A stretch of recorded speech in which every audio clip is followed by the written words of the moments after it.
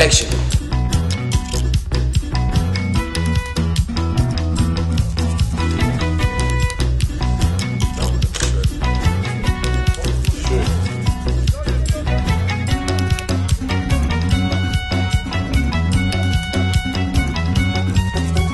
Manchmal ein bisschen Gitarre spielen, das ist mein Hobby. Musik hören, aber ganz ruhig.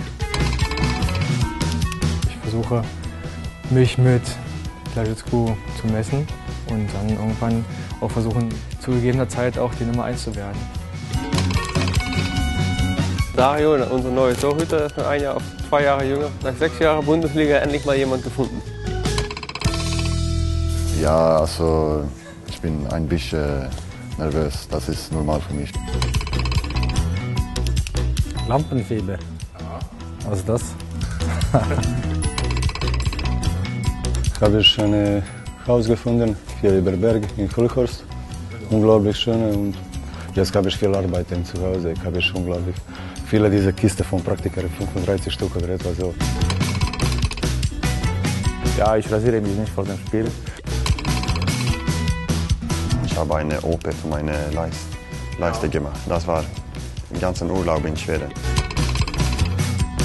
Die Stimmung ist locker und ähm, ja, haben, wieder, haben wieder Spaß am Handball nach der längeren Pause jetzt. Meine Familie ist eigentlich eine ganze Handballfamilie. Aber diese Sportart finde ich einfach gut. Also es ist schnelles Spiel. Essen, Essen ist Leben für mich. So, ich, ich liebe alles, glaube ich. Essen, ja. Nicht viele Berge. Also ist es auch für, für Vorbereitung oder Training beim Laufen nicht so anstrengend, wenn man dann mal vielleicht mal hoch und runter muss. Also ich persönlich finde das total motivierend, äh, wenn du jetzt 3000 Leute auf deiner Seite hast und du hast vielleicht mal einen schwachen Moment oder hast zwei verschossen und dann äh, brüllen die halt deinen Namen, dann pusht das auf jeden Fall. Damals bei Emstetten habe ich gespielt und ich war immer ein guter Freund von Fabian von Ofen. Und er hat damals mit äh, Jens Fender, wann der hier Trainer war, hat er geredet und hat gesagt, naja, vielleicht ein guter Spieler für uns.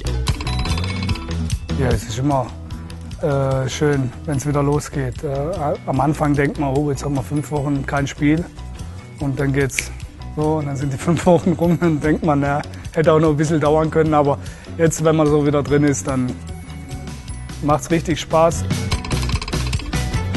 Kinder. Jeden Tag mit zu tun und Opa bin ich auch schon von zweien. Keine Ahnung, ja, aber Rente ist noch weit. Also seit 86 bis 2001 ununterbrochen und dann ab 2006